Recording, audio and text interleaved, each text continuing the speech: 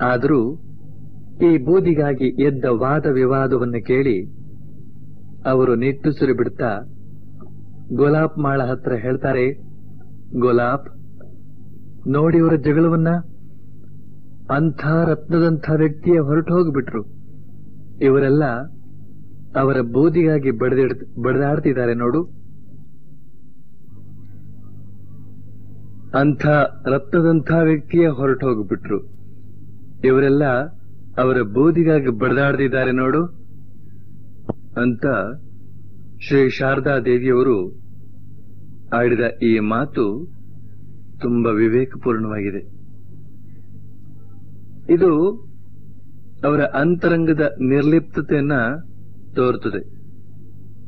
ಅಲ್ಲದೆ ಈ ಭಕ್ತರಾದವರು ಶ್ರೀರಾಮಕೃಷ್ಣರ ಶ್ರೇಷ್ಠ ಜೀವನ ತತ್ವಗಳ ಕಡೆಗೆ ಗಮನ ಕೊಡಬೇಕಲ್ಲದೆ, ಅವರ ದೇಹದ ಬೋಧಿಯ ಕಡೆಗಲ್ಲ ಅಂತ ತಿಳಿಸಿಕೊಡು ಹಾಗಿದೆ.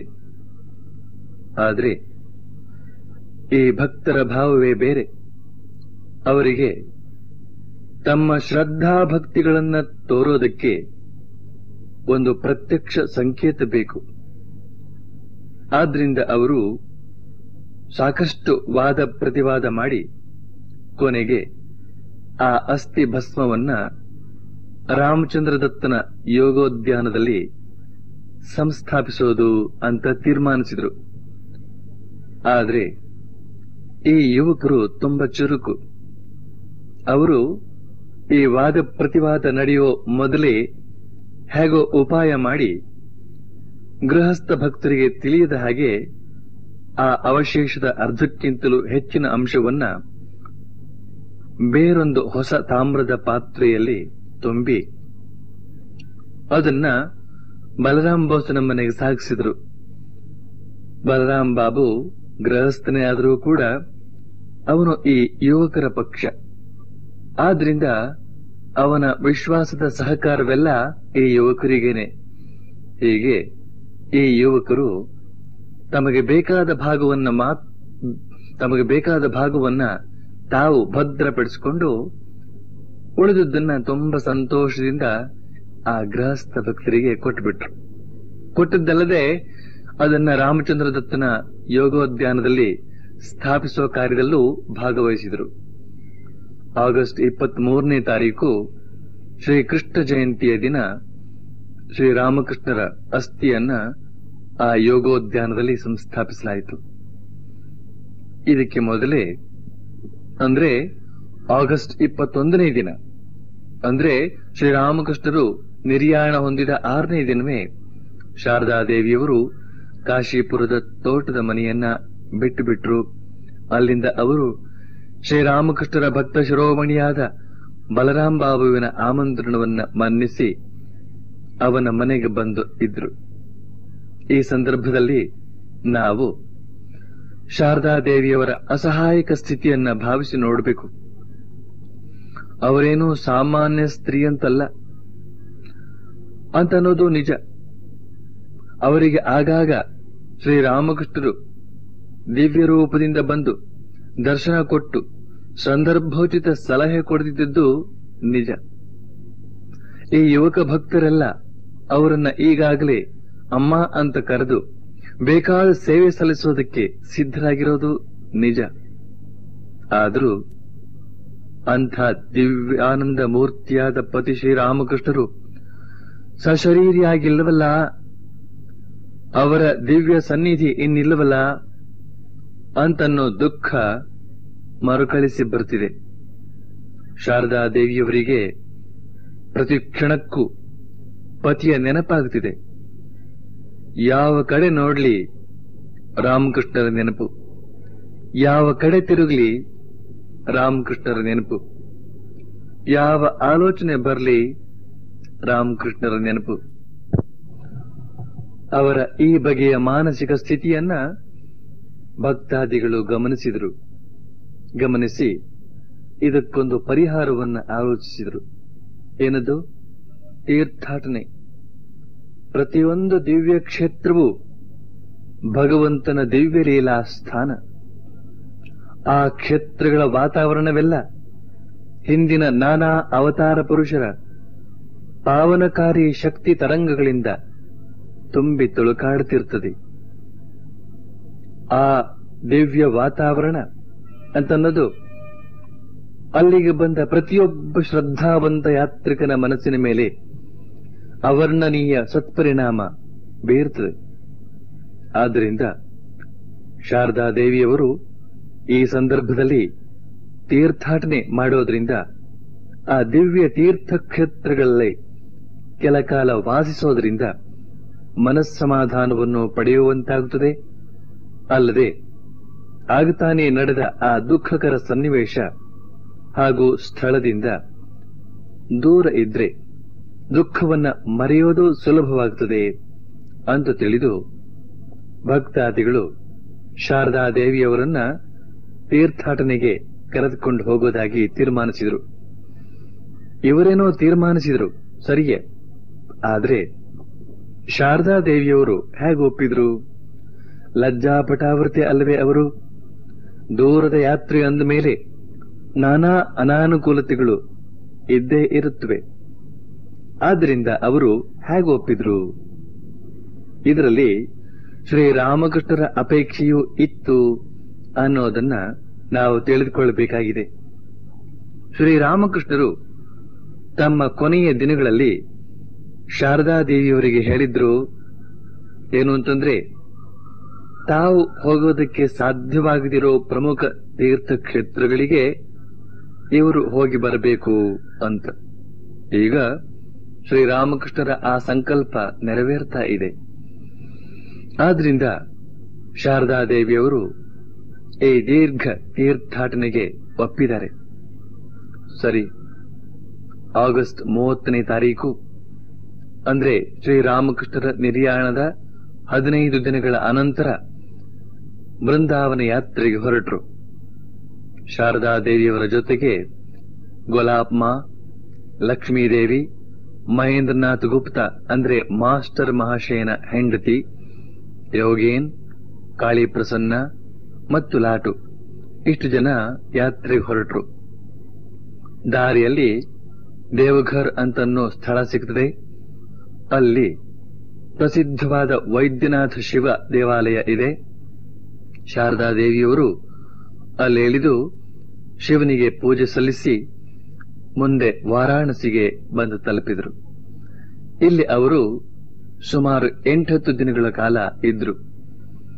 ಈ ವಾರಾಣಸಿ ಕ್ಷೇತ್ರ ವಿಶ್ವನಾಥ ವಿಶಾಲಾಕ್ಷಿಯರ ದಿವ್ಯಧಾಮ ಅಲ್ಲದೆ ಇಲ್ಲಿ ಅನೇಕ ಇತರ ದೇವತೆಗಳು ನೆಲೆಗೊಂಡಿದ್ದಾರೆ. ಶಾರದಾದೇವಿಯವರು ಅಲ್ಲಿನ ವೇಣಿ ಮಾಧವ ದೇವಾಲಯದ ಗೋಪುರವನ್ನ ಏರಿ ಸುತ್ತಲೂ ವಿಸ್ತಾರವಾಗಿ ಹರಡಿಕೊಂಡಿರೋ ವಾರಾಣಸಿ ನಗರದ ವಿಹಂಗಮ ವೀಕ್ಷಣೆ ಮಾಡಿದರು. ಒಂದು ದಿನ ಶಾರದಾ ದೇವಿಯವರು ವಿಶ್ವನಾಥನ ಮಹಾಪೂಜೆಯಲ್ಲಿ ಭಾಗವಹಿಸುತ್ತಿದ್ರು ಈ ವೇಳೆಗೆ ಅವರಲ್ಲಿ ಅತ್ಯುನ್ನತ ಆಧ್ಯಾತ್ಮಿಕ ಉದ್ದೀಪನೆಯಾಗಿ ಅವರಿಗೆ ತಾವೇನು ಮಾಡ್ತಿದ್ದೇವೆ ಅನ್ನೋ ಪರಿವೆಯೇ ಇಲ್ಲದೆ ಭಾರವಾದ ಹೆಜ್ಜೆಗಳನ್ನು ಹಾಕ್ತಾ ತಮ್ಮ ವಸತಿ ಗೃಹದ ಕಡೆ ಬಂದರು. ಅವರ ಮನಸ್ಸು ಆ ದೇವಿಯ ಭಾವದಿಂದ ಇಳಿದು ಸಹಜ ಸ್ಥಿತಿಗೆ ಬಂದಾಗ ಭಕ್ತರು ಈ ವಿಷಯವಾಗಿ ಅವರನ್ನು ಕೇಳಿದ್ರು. ಯಾಕೆ ಹಾಗೆ ನಡೆದುಕೊಂಡು ಬಂದ್ರಿ ಅಂತ. ಆಗ ಶಾರದಾ ದೇವಿಯವರು ಹೇಳ್ತಾರೆ ಶ್ರೀರಾಮಕೃಷ್ಣರು ನನ್ನನ್ನು ಹಾಗೆ ಕೈ ಹಿಡಿದು ನಡೆಸಿಕೊಂಡು ಬಂದ್ರು ಅಂತ. ಶ್ರೀರಾಮಕೃಷ್ಣರು ನನ್ನನ್ನ ಹಾಗೆ ಕೈ ಹಿಡಿದು ನಡೆಸ್ಕೊಂಡು ಬಂದ್ರು ಅಂತ. ನಿಜಕ್ಕೂ ಶ್ರೀರಾಮಕೃಷ್ಣರು ಅವರನ್ನ ಇನ್ಮೇಲೆ ಕೈ ಹಿಡಿದು ನಡೆಸುವ ಹಲವಾರು ಸಂದರ್ಭಗಳನ್ನ ನಾವು ನೋಡ್ಲಿಕ್ಕಿದ್ದೇವೆ ಇಲ್ಲಿ ಶಾರದಾ ದೇವಿಯವರು ಕಾಶಿ ವಿಶ್ವನಾಥನ ದಿವ್ಯ ಸನ್ನಿಧಿಯಲ್ಲಿ ಅತ್ಯುನ್ನತ ಆಧ್ಯಾತ್ಮಿಕ ಭಾವ ತಾಳಿದ ಸಂದರ್ಭದಲ್ಲಿ ಶ್ರೀರಾಮಕೃಷ್ಣರು ಅಗೋಚರವಾಗಿಯೇ ಅವರನ್ನ ವಸತಿ ಗೃಹದವರೆಗೆ ಕೈ ಹಿಡಿದು ಕರೆತಂದ ಸನ್ನಿವೇಶ ತುಂಬಾ ಅರ್ಥಪೂರ್ಣವಾಗಿದೆ. ಏನು ಅಂತಂದ್ರೆ, ಶಾರದಾ ದೇವಿಯವರು ಲಜ್ಜಾ ಪಟಾವೃತೆ. ಅಂಥ ಅವರು ಅಲ್ಲಿ ಬಹುಜನರ ಸಮ್ಮುಖದಲ್ಲಿ ಭಾವಭರಿತರಾಗಿ ಮೈ ಮೇಲಿನ ಪ್ರಜ್ಞೆ ಕಳೆದುಕೊಳ್ಳುವಂತಾಗುವುದನ್ನ ತಪ್ಪಿಸೋದಕ್ಕಾಗಿ ಸ್ವತಃ ಶ್ರೀರಾಮಕೃಷ್ಣರೇ ಅವ್ಯಕ್ತ ರೂಪದಿಂದ ಬಂದು ಅವರನ್ನ ಕೋಣೆಗೆ ಕರೆತರ್ತಾರೆ. ಇದೇ ಸಂದರ್ಭದಲ್ಲಿ ನಾವು ಒಂದು ಮಾತನ್ನ ನೆನಪು ಮಾಡಿಕೊಳ್ಬೇಕು. ಹಿಂದೆ ಶಾರದಾ ದೇವಿಯವರು ತಮಗೂ ಭಾವೋನ್ಮಾದ ಆಗೋ ಹಾಗೆ ಅನುಗ್ರಹಿಸಬೇಕು ಅಂತ ರಾಮಕೃಷ್ಣರನ್ನ ಕೇಳ್ಕೊಂಡಾಗ ರಾಮಕೃಷ್ಣರು ಏನ್ ಹೇಳಿದ್ರು? ಸಹಜವಾಗಿಯೇ ನಮ್ರ ಸ್ವಭಾವದಿಂದಿರೋ ಸ್ತ್ರೀಯರು ಆ ನಮ್ರ ಮನೋಭಾವದ ಮೂಲಕವೇ ಉನ್ನತಿ ಸಾಧಿಸಿಕೊಂಡು ಯಶಸ್ವಿಗಳಾಗ್ತಾರೆ. ಸ್ತ್ರೀಯರು ನಮ್ರದಾಗಿರೋದು ಒಳ್ಳೆಯದು ಲಜ್ಜೆಯೇ ಅವರ ಬಲ. ಲಜ್ಜೆಯೇ ಅವರ ಕೋಟೆ ಅಂತ. ಇಲ್ಲಿಯೂ ಕೂಡ ಶಾರದಾ ದೇವಿಯವರು ಮೈ ಮರೆತು ಭಾವೋನ್ಮಾದ ಭರಿತರಾಗೋದನ್ನ ಜನರ ದೃಷ್ಟಿಯಿಂದ ತಪ್ಪಿಸೋದಕ್ಕೋಸ್ಕರ ಶ್ರೀರಾಮಕೃಷ್ಣರು ಮುನ್ನೆಚ್ಚರಿಕೆ ವಹಿಸಿ ತಾವೇ ಅವ್ಯಕ್ತ ರೂಪದಿಂದ ಬಂದು ಶಾರದಾ ದೇವಿಯವರ ಕೈ ಹಿಡಿದು ಕರೆತಂದ್ರು. ಈಗ ನಮ್ಮಲ್ಲೊಂದು ಪ್ರಶ್ನೆ ಹೇಳ್ಬಹುದು. ಏನು ಅಂತಂದ್ರೆ ರಾಮಕೃಷ್ಣರು ಕೈ ಹಿಡಿದು ಕರೆತರುವಾಗ ಶಾರದಾ ದೇವಿಯವರು ಭಾರವಾದ ಹೆಜ್ಜೆಯನ್ನು ಹಾಕಬೇಕಾದ ಅವಶ್ಯಕತೆ ಏನಿದೆ? ಸರಾಗವಾಗಿ ಬಂದು ಬಿಡಬಹುದಾಗಿತ್ತಲ್ಲ ಅಂತ. ಇದಕ್ಕೆ ಉತ್ತರ ಏನು ಅಂತಂದ್ರೆ, ಮೈ ಮೇಲೆ ಪ್ರಜ್ಞೆ ಇಲ್ಲದವರನ್ನ ಕೈ ಹಿಡಿದು ನಡೆಸಿಕೊಂಡು ಬರುವಾಗ ಅವರು ಭಾರವಾದ ಹೆಜ್ಜೆಯನ್ನೇ ಹಾಕ್ತಾರೆ. ಉದಾಹರಣೆಗೆ, ನಿದ್ರೆಯಲ್ಲಿರೋ ಹುಡುಗರನ್ನ ಕೈ ಹಿಡಿದು ನಡೆಸಿ ನೋಡಿದಾಗ ಈ ವಿಷಯ ನಮಗೆ ಗೊತ್ತಾಗುತ್ತದೆ. ಶಾರದಾದೇವಿಯವರು ವಾರಾಣಸಿಯಲ್ಲಿದ್ದ ಆ ದಿನಗಳಲ್ಲಿ ಒಮ್ಮೆ ತಮ್ಮ ಇತರ ಸ್ತ್ರೀ ಸಂಗಾತಿಗಳೊಂದಿಗೆ ಸ್ವಾಮಿ ಭಾಸ್ಕರಾನಂದರನ್ನ ದರ್ಶನ ಮಾಡುವುದಕ್ಕೆ ಹೋಗಿದ್ರು. ಆ ಸ್ವಾಮಿಗಳು ಸದಾ ಬತ್ತಲೆಯಾಗಿಯೇ ಇರುತ್ತಿದ್ರು. ಅವರು ಈ ಸ್ತ್ರೀಯರನ್ನು ಕಂಡಾಗ ವಿನಯದಿಂದ ಹೇಳ್ತಾರೆ ಶಂಕಾ मत करो माई तुम सब ಜಗದಂಬಾ हो ಶರಂ ಕ್ಯಾ? ಅಮ್ಮ, ನೀವೆಲ್ಲ ನನ್ನನ್ನು ನೋಡಿ ನಾಚಿಕೆ ಪಟ್ಕೊಳ್ಬೇಡಿ. ನೀವೆಲ್ಲ ಸಾಕ್ಷಾತ್ ಜಗದಂಬೆಯರು. ಆದ್ರಿಂದ ಯಾಕಾದ್ರೂ ನಾಚಿಕೆ ಪಟ್ಕೊಳ್ಬೇಕು ಅಂತ. ಆ ಸಾಧು ದರ್ಶನ ಮಾಡಿಕೊಂಡು ಬಂದ ಶಾರದಾ ದೇವಿಯವರು ಅವರು ಕುರಿತಾಗಿ ಹೇಳ್ತಾರೆ ಆ ಎಂಥ ನಿರ್ವಿಕಾರ ಮಹಾಪುರುಷ. ಚಳಿಗಾಲದಲ್ಲೂ ಸೆಖಿಗಾಲದಲ್ಲೂ ಒಂದೇ ತರಹ ಬರಿಮೈಯಲ್ಲೇ ಇದ್ದು ಬಿಡ್ತಾರೆ ಅವರು ಅಂತ. ಈ ಪುಟ್ಟ ಘಟನೆಯಲ್ಲಿ ನಾವು ಎರಡು ಅಂಶಗಳನ್ನ ಗಮನಿಸಬಹುದಾಗಿದೆ. ಏನು ಅಂತಂದ್ರೆ, ಒಂದನೇದಾಗಿ ಆ ಸಾಧುಗಳು ಯಾವಾಗಲೂ ನಗ್ನರಾಗಿಯೇ ಇರುವವರು. ಶ್ರೀರಾಮಕೃಷ್ಣರ ಗುರು ತೋತಾಪುರಿಯ ಹಾಗೆ.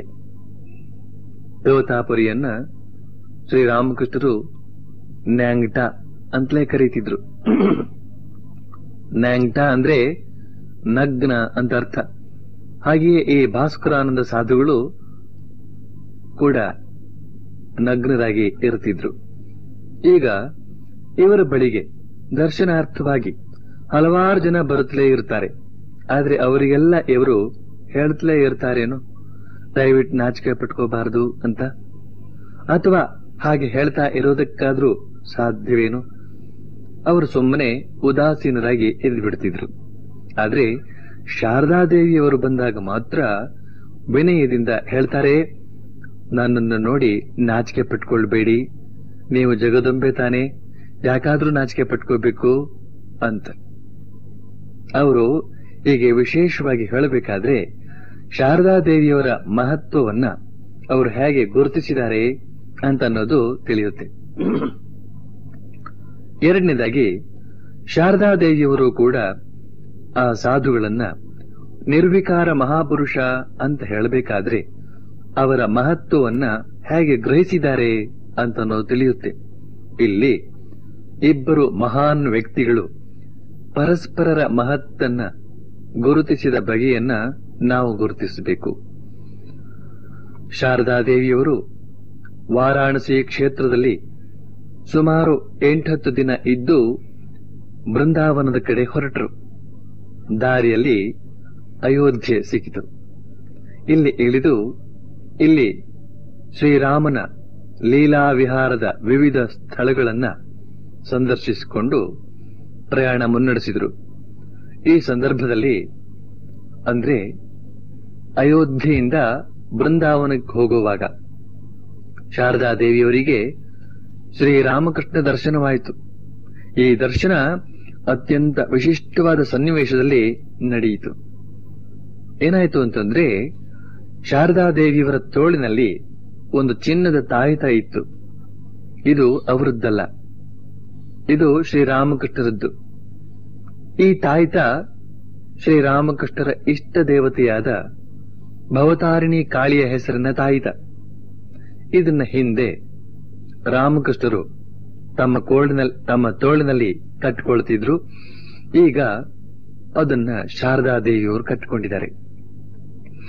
ಅವರು ಅಯೋಧ್ಯೆಯಿಂದ ಪ್ರಯಾಣ ಹೊರಟಾಗ ರೈಲು ಡಬ್ಬಿಯಲ್ಲಿ ಕಿಟಕಿಯ ಬಳಿ ಕುಳಿತಿದ್ರು. ಆಗ ಅವರ ತೋಳು ಕಿಟಕಿಯ ಹೊರಗೆ ಚಾಚಿಕೊಂಡಿತ್ತು. ಆದ್ರಿಂದ ಆ ತಾಯಿತ ಕಿಟಕಿಯಿಂದ ಹೊರಗೆ ಕಾಣುವಂತಿತ್ತು. ಈ ಸಂದರ್ಭದಲ್ಲಿ ಶ್ರೀರಾಮಕೃಷ್ಣರು ಕಿಟಕಿಯ ಒಳಗೆ ಇಣುಕಿ ಶಾರದಾ ದೇವಿಯವರಿಗೆ ಹೇಳ್ತಾರೆ, ನೋಡು, ಆ ತಾಯಿತ ನಿನ್ನ ಬಳಿ ಇದೆ. ಅದು ಕಳೆದು ಹೋಗದ ಹಾಗೆ ಜೋಪಾನವಾಗಿ ನೋಡ್ಕೋ ಅಂತ. ರೈಲು ವೇಗವಾಗಿ ಸಾಗ್ತಾ ಇದೆ. ಆ ವೇಳೆಯಲ್ಲಿಯೇ ಶ್ರೀರಾಮಕೃಷ್ಣರು ಆ ಕಿಟಕಿಯ ಒಳಗೆ ಎಣಿಕಿ ಶಾರದಾ ದೇವಿಯವರಿಗೆ ಹೇಳ್ತಾರೆ, ನೋಡು, ಆ ತಾಯ್ತ ನಿನ್ನ ಬಳಿ ಇದೆ. ಅದು ಕಳೆದು ಹೋಗದ ಹಾಗೆ ಜೋಪಾನವಾಗಿ ನೋಡಿಕೋ ಅಂತ. ಶಾರದಾದೇವಿಯವರು ತಕ್ಷಣ ಆ ತಾಯಿತವನ್ನ ಕಳಚಿ ಪೆಟ್ಟಿಗೆಯಲ್ಲಿ ಭದ್ರವಾಗಿ ಇರಿಸಿದರು. ಆ ಪೆಟ್ಟಿಗೆಯಲ್ಲಿಯೇ ಅವರು ದಿನಾ ಪೂಜೆ ಮಾಡ್ತಿರೋ ಶ್ರೀರಾಮಕೃಷ್ಣರ ಭಾವಚಿತ್ರ ಕೂಡ ಇದೆ. ಈ ಘಟನೆಯಾದ ಮೇಲೆ ಶಾರದಾ ದೇವಿಯವರು ಆ ತಾಯಿತವನ್ನ ಪುನಃ ತಾವು ಕಟ್ಟಿಕೊಳ್ಳಲಿಲ್ಲ. ಅದರ ಬದಲು ಅದನ್ನ ಆ ಭಾವ ಚಿತ್ರದೊಂದಿಗೆನೇ ಪೂಜೆ ಮಾಡುತ್ತಿದ್ರು ಪ್ರಯಾಣ ಸುಗಮವಾಗಿ ಮುನ್ನಡೆಯಿತು. ಕೊನೆಗೆ ರೈಲು ಬೃಂದಾವನ ತಲುಪಿತು. ಬೃಂದಾವನದಲ್ಲಿ ಶಾರದಾ ದೇವಿಯವರು ಯಮುನಾ ನದಿ ತೀರದಲ್ಲಿರೋ ಕಾಲಾಬಾಬುವಿನ ಕುಂಜದಲ್ಲಿ ಇಳಿದುಕೊಂಡ್ರು. ಈ ಕುಂಜ ಬಲರಾಮ್ ಬಾಬುವಿನ ಮನೆತನಕ್ಕೆ ಸೇರಿದ್ದು. ಈಗ ಇಲ್ಲಿಯೇ ಯೋಗಿನ್ಮಾ ಕೂಡ ಇದ್ದಾಳೆ. ಈಗ ಶಾರದಾದೇವಿಯವರು ಬಂದದ್ದನ್ನು ಕಂಡು ಅವಳ ಆನಂದಕ್ಕೆ ಪಾರವೇ ಇಲ್ಲ. ಆದರೆ ಅವಳು ಈಗ ಆ ಆನಂದವನ್ನ ಪೂರ್ಣ ಅನುಭವಿಸೋ ಹಾಗಿಲ್ಲ. ಯಾಕೆ ಅಂದ್ರೆ ತೊಟ್ಟಿರುವ ಈ ಉಡುಗೆ ಅವಳಿಗೆ ದುಃಖದ ಕಥೆಯನ್ನು ಹೇಳ್ತಾ ಇದೆ. ಶಾರದಾ ದೇವಿಯವರು ಆ ಅಪರಿಚಿತ ಸ್ಥಳದಲ್ಲಿ ಚಿರಪರಿಚಿತ ಯೋಗಿನ್ಮಾಳನ್ನ ನೋಡುತ್ತಲೇ ಅಸಹಾಯ ಶಿಶುವಿನ ಹಾಗೆ ಅವಳನ್ನ ತಬ್ಬಿಕೊಂಡು ತಮ್ಮ ದುಗುಡವನ್ನ ತೋಡಿಕೊಂಡ್ರು. ಈ ದುಗುಡದ ತೀವ್ರತೆಯನ್ನ ಮರೆಯೋದಕ್ಕಾಗಿಯೇ ಅವರು ಈ ಬೃಂದಾವನ ಕ್ಷೇತ್ರಕ್ಕೆ ಬಂದಿದ್ದಾರೆ. ಈ ಬೃಂದಾವನ ಅಂತ ಅನ್ನೋದು ಶ್ರೀರಾಮಕೃಷ್ಣರ ಅಭಿಪ್ರಾಯದ ಪ್ರಕಾರ ಪರಮ ಪವಿತ್ರ ಕ್ಷೇತ್ರ. ಶ್ರೀಕೃಷ್ಣ, ಹಲವು ಅದ್ಭುತ ದಿವ್ಯ ಲೀಲೆಗಳನ್ನಾಡಿ ಪಾವನಗೊಳಿಸಿದ ಪುಣ್ಯಕ್ಷೇತ್ರ ಈ ಬೃಂದಾವನ. ಅಲ್ಲದೆ ಇಡೀ ಮಾನವತೆಯ ಹೃದಯವೇ ಮೈವೆತ್ತಂತಿದ್ದ ಶ್ರೀ ರಾಧೆ ಪರಮ ನಿಸ್ವಾರ್ಥ ಪ್ರೇಮದಿಂದ ಶ್ರೀಕೃಷ್ಣನಿಗಾಗಿ ಪರಿತಪಿಸಿದ ಪುನೀತ ನೆಲವೇ ಈ ಬೃಂದಾವನ. ಜೀವಾತ್ಮನು ಪರಮಾತ್ಮನಿಗಾಗಿ ಪರಿತಪಿಸುವುದು ಪರಮಾತ್ಮನು ಜೀವಾತ್ಮನನ್ನ ಬೇಕೆಂಬಷ್ಟು ದಣಿಸಿ ತನ್ನೆಡೆಗೆ ಸೆಳೆದುಕೊಳ್ಳುವುದು ಈ ಬಗೆಯ ದಿವ್ಯ ಲೀಲೆ ಅನಾದಿಯಿಂದ ನಡೆದುಕೊಂಡು ಬಂದಿದೆ. ಈ ದಿವ್ಯ ಲೀಲೆಯನ್ನ ಭಗವಂತ ಭಗವಂತ ಶ್ರೀಕೃಷ್ಣ ಭೂಮಂಡಲದಲ್ಲಿ ಆಡಿ ತೋರಿದ ದಿವ್ಯ ಧಾಮವೇ ಈ ಬೃಂದಾವನ. ಇಲ್ಲಿ ಇಂದಿಗೂ ಸೂಕ್ಷ್ಮ ರೂಪದಲ್ಲಿ ಶ್ರೀಕೃಷ್ಣನ ಅದ್ಭುತ ಲೀಲೆಗಳು ಅನವರತವಾಗಿ ನಡೆಯುತ್ತಲೇ ಇದೆ. ಅಂತನ್ನೋದು ಭಕ್ತ ಜನರ ಅನುಭವದ ಮಾತು. ಶಾರದಾದೇವಿಯವರು ಇಲ್ಲಿಗೆ ತಲುಪಿದ್ದು ಸೆಪ್ಟೆಂಬರ್ ತಿಂಗಳಲ್ಲಿ. ಈಗಾಗಲೇ ಸಾಕಷ್ಟು ಮಳೆಯಾದ್ದರಿಂದ ಇಡೀ ಬೃಂದಾವನವೇ ಹಸಿರಿನಿಂದ ಸಿಂಗರಿಸಿಕೊಂಡು ಶಾರದಾದೇವಿಯವರನ್ನ ಸ್ವಾಗತಿಸುವಂತಿದೆ. ಮರಗಿಡ ಬಳ್ಳಿಗಳು ಚಿಗುರಿ, ಹೂವರಳಿ, ಅವುಗಳ ಸುಮಧುರ ಸುವಾಸನೆಯಿಂದ ವಾತಾವರಣವೆಲ್ಲ ಪರಿಮಳಿತವಾಗಿದೆ.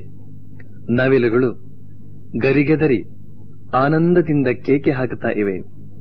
ಹಸುಗಳು ಹಸನಾದ ಹುಲ್ಲನ್ನ ಮಿಂದು ಆನಂದದಿಂದ ಅಂಬಾ ಅನ್ನುತ್ತಾ ಇವೆ. ಒಂದಷ್ಟು ಜಿಂಕೆಗಳು ಅಲ್ಲಿ ನಿರ್ಭಯವಾಗಿ ಮೇಯ್ತಾ ಅಪರಿಚಿತರು ಬಂದಾಗ ಕತ್ತೆತ್ತಿ ತಮ್ಮ ಮುಗ್ಧ ಕಣ್ಣುಗಳನ್ನ ಅರಳಿಸಿ ನೋಡ್ತಾ ಇವೆ. ಬಗೆ ಬಗೆಯ ತಿರುವು ಮುರುಗುಗಳಿಂದ ಬಳಕುತ್ತ ಹರಿಯುತ್ತಿರುವ ಯಮುನೆ. ಶಾರದಾದೇವಿಯವರ ಪವಿತ್ರ ಪದಸ್ಪರ್ಶ ಮಾಡುವ ಉತ್ಸಾಹದಿಂದ ದಡ ತುಂಬಿ ನಿಂತಿದ್ದಾಳೆ.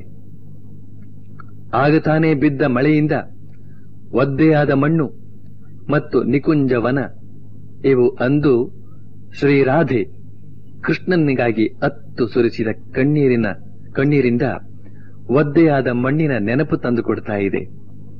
ಆ ವಿಶಾಲವಾದ ವೃಜಭೂಮಿಯ ವಾತಾವರಣವೆಲ್ಲ ಗೋಪಿಕಾ ಸ್ತ್ರೀಯರು ತಮ್ಮ ವ್ಯಾಕುಲ ಭರಿತ ನಯನಗಳಿಂದ ಶ್ರೀಕೃಷ್ಣ, ತಮ್ಮ ಪ್ರಿಯ ಕೃಷ್ಣ, ತಮ್ಮ ಪ್ರಾಣ ಕೃಷ್ಣ ಈಗ ಬಂದಾನು, ಇನ್ನೊಂದು ಕ್ಷಣದಲ್ಲಿ ಬಂದಾನು ಅನ್ನೋ ಅವರ ನಿರೀಕ್ಷಣೆಯ ನೋಟುಗಳಿಂದ ತುಂಬಿದೆ.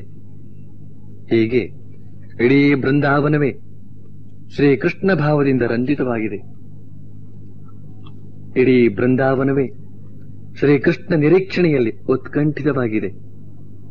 ಈ ದಿವ್ಯ ಬೃಂದಾವನದ ವಾತಾವರಣದೊಳಗೆ ಪ್ರವೇಶ ಮಾಡಿದಾಗ ಮೊದಲು ಮನಸ್ಸಿಗೆ ಅನಿಸೋ ಮಾತ್ಯಾವುದು ಅಂದ್ರೆ, ಶ್ರೀಕೃಷ್ಣ ಇಲ್ಲೆಲ್ಲಿಯೋ ಇದ್ದಾನೆ, ಹೋಗಿ ಮೊದಲು ಅವನನ್ನು ನೋಡ್ಕೊಂಡು ಬರೋಣ ಅಂತ. ಆದ್ರೆ ಎಲ್ಲಿ ಆ ಕೃಷ್ಣ? ಶಾರದಾದೇವಿಯವರ ಹೃದಯದಲ್ಲಿಯೂ ಈಗ ಒಂದೇ ಸವನೆ ಮಿಡಿತಾ ಇದೆ. ಎಲ್ಲಿ ಶ್ರೀರಾಮಕೃಷ್ಣ? ಅಂತ. ದುಃಖವನ್ನ ಮರೆಯಬೇಕು ಅಂತ ಬಂದ್ರೆ ದುಃಖ ಉಕ್ಕಿ ಬರ್ತಾ ಇದೆ. ಯಾಕೆ ಅಂದ್ರೆ ಈ ಬೃಂದಾವನ ಅಂದ್ರೆ ಅಪಾರ ವಿರಹ ವೇದನೆಯನ್ನ ಅನುಭವಿಸಿದ ರಾಧೆಯ ಸ್ಥಾನವಲ್ವೇ? ಆದ್ರಿಂದ ಅವಳ ವಿರಹ ವೇದನೆಯ ನೆನಪು ಈಗ ಶಾರದಾದೇವಿಯವರ ವಿರಹದ ಗಾಯವನ್ನ ಕೆರಳಿಸಿ ಪುನಃ ರಕ್ತ ಬಸಿಯುವಂತೆ ಮಾಡಿದೆ. ಈಗ ಶಾರದಾದೇವಿಯವರಲ್ಲಿ ಉಕ್ಕಿ ಬಂದ ಶ್ರೀರಾಮಕೃಷ್ಣ ವಿರಹದ ದುಃಖ ಅವರ ಹೃದಯವನ್ನೇ ಕಿತ್ತು ಎಳೆಯುವಂತಿದೆ. ಶ್ರೀರಾಮಕೃಷ್ಣರು ಅವರಿಗೆ ಈಗಾಗಲೇ ಮೂರ್ನಾಲ್ಕು ದರ್ಶನಗಳನ್ನು ಕೊಟ್ಟಿದ್ದಾರೆ. ಆದ್ರಿಂದ ಅವರು ಸಮಾಧಾನ ತಂದುಕೊಳ್ಳಬಹುದಾಗಿತ್ತು. ಆದರೆ ಆದರೆ ಎಷ್ಟೇ ದರ್ಶನ ಕೊಟ್ಟರೂ ಕೂಡ ಪ್ರತ್ಯಕ್ಷ ಸನ್ನಿಧಿಯ ಮುಂದೆ. ಅದೇನು ಅಲ್ಲವಲ್ಲ? ಹೇಗೆ ಎಷ್ಟೇ ಪತ್ರ ವ್ಯವಹಾರ ಮಾಡಿದ್ರು, ಎಷ್ಟೇ ಫೋನ್ ಮೂಲಕ ಮಾತಾಡಿದ್ರು, ಪ್ರತ್ಯಕ್ಷ ಕುಳಿತು ಮಾತಾಡಿದಾಗ ಆಗೋದಿಲ್ವಲ್ಲ? ಅಲ್ಲದೆ, ಶ್ರೀ ಶಾರದಾದೇವಿಯವರು ತಮ್ಮ ಹೃದಯದ ಎಲ್ಲ ಭಾವನೆಯ ತಂತಿಗಳನ್ನ ಶ್ರೀರಾಮಕೃಷ್ಣರ ಪಾದಗಳಿಗೆ ಬಿಗಿದಿದ್ರು. ಆ ರಾಮಕೃಷ್ಣರು ಈಗೆಲ್ಲಿ? ಈಗೆಲ್ಲಿ ಆ ರಾಮಕೃಷ್ಣರು? ಈ ಪ್ರಶ್ನೆ ನಿರಂತರವಾಗಿ ಮೊಳಗುತ್ತಾ ಇದೆ. ಶಾರದಾದೇವಿಯವರ ಹೃದಯದಲ್ಲಿ ಇದರ ಪರಿಣಾಮವಾಗಿ ನಿರಂತರ ಅಶ್ರು ಪ್ರವಾಹ. ಹೀಗೆ ಅವರು ಶ್ರೀರಾಮಕೃಷ್ಣರ, ಶ್ರೀರಾಮಕೃಷ್ಣ ವಿರಹದಿಂದಾಗಿ ಕಣ್ಣೀರು ಸುರಿಸ್ತಾ ಇದ್ರೆ ಇದರ ಜೊತೆಗೆ ಯೋಗಿನ್ಮ ತನ್ನ ಕಣ್ಣೀರು ಸೇರಿಸಿದಾಳೆ ತನ್ನ ಜೀವನದ ಅತ್ಯಂತ ದುಃಖಮಯ ಸ್ಥಿತಿಯಲ್ಲಿ ಅವಳು ರಾಮಕೃಷ್ಣರ ಬಳಿಗೆ ಬಂದವಳು. ರಾಮಕೃಷ್ಣರಿಂದ ಅನಂತ ಶಾಂತಿ ಸಮಾಧಾನವನ್ನು ಪಡೆದವಳು. ಅದೇ ರಾಮಕೃಷ್ಣರ ಅಪಾರ ಆಶೀರ್ವಾದ ಪಡೆದುಕೊಂಡು ತಪಸ್ಸಿಗೆ ಅಂತ ಇಲ್ಲಿ ಬೃಂದಾವನಕ್ಕೆ ಬಂದ್ರೆ ಅಲ್ಲಿ ತನ್ನ ಶಾಂತಿದಾತ ರಾಮಕೃಷ್ಣ ಶರೀರ ತ್ಯಾಗ ಮಾಡಿಬಿಟ್ಟಿದ್ದಾರೆ. ನಿಜಕ್ಕೂ ಇದೊಂದು ದೊಡ್ಡ ಆಘಾತ ಆ ಅನಾಥೆಗೆ. ಅಂಥ ದಿವ್ಯ ಪುರುಷ ಶ್ರೀರಾಮಕೃಷ್ಣರನ್ನ ತಾನಿನ್ನು ನೋಡುವಂತೆಯೇ ಇಲ್ಲವಲ್ಲ? ಅಂತನ್ನೋ ದುಃಖಾತಿಶಯದಿಂದ. ಅಬಲೆ ಯೋಗಿನ್ಮ, ಒಂದೇ ಸವನೆ ಕಣ್ಣೀರ್ಗರೆಯುತ್ತಿದ್ದಾಳೆ ಅವಳ ದುಃಖವನ್ನು ನೋಡಿ ಶಾರದಾದೇವಿಯವರ ದುಃಖ ಹೆಚ್ಚುತ್ತಾ ಇದೆ. ಶಾರದಾದೇವಿಯವರ ದುಃಖವನ್ನು ನೋಡಿ ಅವಳ ದುಃಖ ಹೆಚ್ಚುತ್ತಾ ಇದೆ. ಹೀಗೆ ಅವರಿಬ್ಬರು ರಾಮಕೃಷ್ಣರಿಗಾಗಿ ದುಃಖಿಸ್ತಾ ಇರುವಾಗ ಒಂದು ದಿನ ರಾತ್ರಿ ರಾಮಕೃಷ್ಣರು ಅವರಿಬ್ಬರಿಗೂ ಪ್ರತ್ಯಕ್ಷ ದರ್ಶನ ಕೊಟ್ಟು ಸಮಾಧಾನ ಪಡಿಸ್ತಾ ಹೇಳ್ತಾರೆ, ಏನಿದು? ನೀವು ಯಾಕೆ ಇಷ್ಟೊಂದು ದುಃಖ ಪಡ, ಪಡ್ತಿದ್ದೀರಿ? ನಾನಿಲ್ಲೇ ಇದ್ದೇನಲ್ಲ? ನಾನು ಇನ್ನೆಲ್ಲಿಗೆ ಹೋಗಿದ್ದೇನೆ ಅಂತ ತಿಳಿದುಕೊಂಡಿದ್ದೀರಿ? ಆ ಕೋಣೆಯಿಂದ ಈ ಕೋಣೆಗೆ ಬಂದಿದ್ದೇನೆ ಅಷ್ಟೇ ಅಂತ. ಏನದ್ಭುತ ಹೇಳ್ತಾರೆ, ಏನಿದು? ನೀವು ಯಾಕೆ ಇಷ್ಟೊಂದು ದುಃಖಿಸ್ತಿದ್ದೀರಿ? ನಾನಿಲ್ಲೇ ಇದೇನಲ್ಲ? ನಾನಿನ್ನೆಲ್ಲಿಗೆ ಹೋಗಿದ್ದೇನೆ ಅಂತ ತಿಳಿದುಕೊಂಡ್ರಿ? ಆ ಕೋಣೆಯಿಂದ ಈ ಕೋಣೆಗೆ ಬಂದಿದ್ದೇನೆ, ಅಷ್ಟೇ. ಅಂತ. ಹತ್ತು ಕರೆದ ಕರೆಗೆ ರಾಮಕೃಷ್ಣರು ಓಗೊಟ್ಟಿದ್ದಾರೆ. ರಾಮಕೃಷ್ಣರೇ ಹೇಳಿದ ಹಾಗೆ, ಹತ್ತು ಕರೆದರೆ ತಾಯಿ ಓ ಎನ್ನದಿ ಹೇಳೇನೋ? ಹತ್ತು ಕರೆದರೆ ತಾಯಿ ಓ ಎನ್ನದಿ ಹೇಳೇನೋ? ನಿಜ. ಹೇಗೆ ಆ ತಾಯಿ ಜಗನ್ಮಾತೆ ಓಗೊಡ್ತಾಳೋ? ಹಾಗೆಯೇ ರಾಮಕೃಷ್ಣರು ಕೂಡ ಓಗೊಡಬಲ್ಲರು. ಈಗ ಓಗೊಟ್ಟು ಬಂದಿದ್ದಾರೆ, ಬಂದು ಮಾತಾಡಿದ್ದಾರೆ. ಅದೆಂತಹ ಮಾತು? ಅದೆಂತಹ ಆಶ್ವಾಸನೆ? ನಾನಿಲ್ಲೇ ಇದ್ದೇನಲ್ಲ, ನಾನಿನ್ನೆಲ್ಲಿಗೆ ಹೋಗಿದ್ದೇನೆ ಅಂತ ತಿಳಿದುಕೊಂಡಿದ್ದೀರಿ? ಆಗ ಆ ಕೋಣೆಯಲ್ಲಿದ್ದೆ, ಈಗ ಈ ಕೋಣೆಗೆ ಬಂದಿದ್ದೇನೆ ಅಷ್ಟೇ. ಅಂದ್ರೇನರ್ಥ, ನಾನಿದ್ದೇನೆ, ಇಲ್ಲೇ ಇದ್ದೇನೆ. ಆದ್ರೆ ಈ ಕೋಣೆಯಲ್ಲಿದ್ದೇನೆ ಅಷ್ಟೇ. ಏನಾದರೂ ಕಷ್ಟ ಬಂದ್ರೆ ಕರೀರಿ. ತಕ್ಷಣ ಬರ್ತೇನೆ. ಬಹಳ ದೂರದಿಂದೇನೂ ಬರ್ಬೇಕಾಗಿಲ್ಲ. ಇಲ್ಲೇ ಪಕ್ಕದ ಕೋಣೆಯಿಂದ ಬಂದು ಬಿಡ್ತೇನೆ ಅಷ್ಟೇ ಅಂತ ಅರ್ಥ. ನಿಜಕ್ಕೂ ಈ ದಿವ್ಯಾದ್ಭುತ ಘಟನೆ ನಮಗೆ ಹಲವಾರು ರಹಸ್ಯಗಳನ್ನು ತಿಳಿಸಿಕೊಡ್ತಾ ಇದೆ. ಒಂದನೇದಾಗಿ, ಮರಣ ಅಂತಂದ್ರೆ ಎಂದೆಂದಿಗೂ ಇಲ್ಲದಂತಾಗಿ ಬಿಡೋದಲ್ಲ, ಕೇವಲ ಈ ಕೋಣೆಯ ಬಾಗಿಲನ್ನ ದಾಟಿ ಆ ಕೋಣೆಗೆ ಹೋದಂತೆ ಅಂತ. ಎರಡನೇದಾಗಿ, ಮರಣದ ಅನಂತರವೂ ಜೀವನ ಇದೆ ಅಂತ. ಮೂರನೇದಾಗಿ, ಬಾಕಿ ಉಳಿದ ಜೀವರು ಅವರವರ ಕರ್ಮಗಳಿಗೆ ಅನುಸಾರ ಲೋಕಾಂತರಗಳಿಗೆ ಹೋಗಬಹುದು ಅಥವಾ ಇದೇ ಲೋಕದಲ್ಲಿ ಬೇರೆ ಶರೀರ ಧರಿಸಿ ಜನ್ಮ ತಾಳಬಹುದು. ಆದರೆ ರಾಮಕೃಷ್ಣರು ಮಾತ್ರ ಜ್ಯೋತಿರ್ಮಯ ಶರೀರದಿಂದ ಇದ್ದುಕೊಂಡು ಭಕ್ತ ಜನರ ಕರೆಗೆ ಓಗೊಟ್ಟು ಬಂದು ದರ್ಶನ ನೀಡಬಲ್ರು, ಮಾರ್ಗದರ್ಶನ ನೀಡಬಲ್ರು, ಸಾಂತ್ವನ ನೀಡಬಲ್ರು ಅಂತ. ನಾಲ್ಕನೆಯದಾಗಿ, ಜನ್ಮಾಂತರವನ್ನ ಒಪ್ಪದ, ಲೋಕಾಂತರವನ್ನ ಒಪ್ಪದ, ಕೊನೆಗೆ ದೇವರ ಅಸ್ತಿತ್ವವನ್ನೇ ಒಪ್ಪದ ನಾಸ್ತಿಕ ಶಿಖಾಮಣಿಗಳ ವಾದಕ್ಕೆ ಇದೊಂದು ದೊಡ್ಡ ಉತ್ತರ. ಆದ್ರೆ ಆ ನಾಸ್ತಿಕ ಶಿಖಾಮಣಿಗಳು ತಮ್ಮ ಮೊಂಡುತನದಿಂದಾಗಿ ಈ ಘಟನೆಯನ್ನ ಒಪ್ಪದೆ ಹೋದ್ರೆ ಅದರಿಂದಾಗಿ ಪ್ರಾಮಾಣಿಕ ಸತ್ಯ ಸತ್ಯಶೋಧಕರಾದ ಜನ ತಬ್ಬಿಬ್ಬಾಗಬೇಕಾಗಿಲ್ಲ. ಪರಮ ಪವಿತ್ರ ಚರಿತ್ರರಾದ ಶ್ರೀ ಶಾರದಾ ದೇವಿಯವರಿಗೆ ಅತ್ಯಂತ ನಿಷ್ಕಪಟ ಹೃದಯದ ಶ್ರೀ ಶ್ರೀ ಶಾರದಾ ದೇವಿಯವರಿಗೆ ಅತ್ಯಂತ ಉನ್ನತ ಮಟ್ಟದ ನೈತಿಕ ಬಲ ಸಂಪನ್ನೆಯರಾದ ಶ್ರೀ ಶಾರದಾ ದೇವಿಯವರಿಗೆ ಆದ ರಾಮಕೃಷ್ಣ ದರ್ಶನ ಅಂತ ಅನ್ನೋದು ಪರಮ ಪ್ರಾಮಾಣಿಕವಾದ ದರ್ಶನ. ಆದ್ದರಿಂದಲೇ ಈ ಸ್ಪಷ್ಟ ದರ್ಶನದ ಪರಿಣಾಮವಾಗಿ ಶಾರದಾದೇವಿಯವರ ದುಃಖಿತ ಹೃದಯಕ್ಕೆ ಎಷ್ಟೋ ನೆಮ್ಮದಿ ಅನಿಸಿತು, ಎಷ್ಟೋ ಭರವಸೆ ಸಿಕ್ಕಿತು. ಅವರ ಕಣ್ಣೀರ ಪ್ರವಾಹ ಕಡಿಮೆ ಆಯಿತು ಅಂತ ಇಲ್ಲಿಯವರೆಗೆ ಹೇಳಿ ಮುಂದಿನದನ್ನ ಶ್ರೀ ಶಾರದಾ ಮಾತೆಯವರ ಕೃಪೆಯಿಂದ ಮುಂದಿನ ಶನಿವಾರ ಹೇಳ್ತೇನೆ. ॐ प्रियताम् पुण्डरीकाक्षः सर्वयज्ञेश्वरो हरिः तस्मिंस्तुष्टे जगत्तुष्टम् प्रीणिते प्रीणितम् जगत्। हरिः ॐ तत्सत्।